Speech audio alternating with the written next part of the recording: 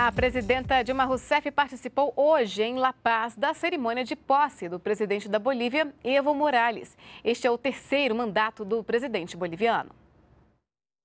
Ao desembarcar na Bolívia, Dilma Rousseff foi presenteada com uma manta típica boliviana e seguiu direto para a Assembleia Legislativa, onde assistiu à cerimônia de posse de Evo Morales. Reeleito para um terceiro mandato, com 61% dos votos, Morales ocupa o cargo de presidente da Bolívia desde 2006. A cerimônia de posse contou com a presença de chefes de Estado da América Latina e representantes de mais de 40 países.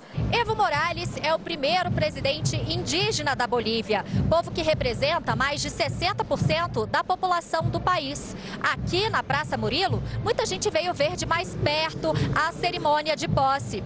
Esta é a primeira viagem internacional de Dilma Rousseff em 2015 e a primeira visita dela à Bolívia como presidenta. Na visita a La Paz, Dilma Rousseff retribui a presença de Evo Morales, que esteve na posse dela em 1 de janeiro em Brasília. No Palácio de Governo, Dilma Rousseff cumprimentou o presidente Evo Morales e o vice-presidente Álvaro Garcia Lineira. Após participar da cerimônia de posse e da fotografia oficial, ela retornou ao Brasil.